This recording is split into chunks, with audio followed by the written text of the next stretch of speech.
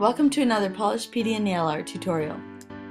I'm so excited to show you how to do ombre nails. Pick out two of your favorite colors that easily fade into one another. Now let's get started. First apply your base coat to protect your nail.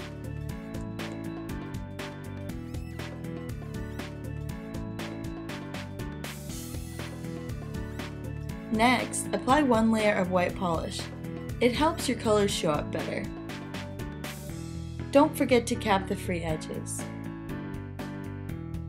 Ombre nail art is fading one color into another. You do that by applying both the colors you want onto a makeup sponge.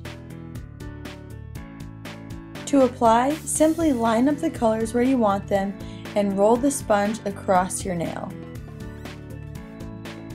Keep rolling and dabbing until you get the two colors to fade together.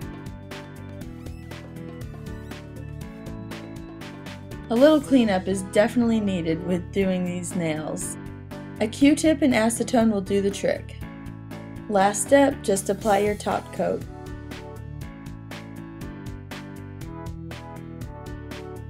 And that's it. I love my nails. I can't stop looking at them. Remember to subscribe to our YouTube channel and visit polishpedia.com.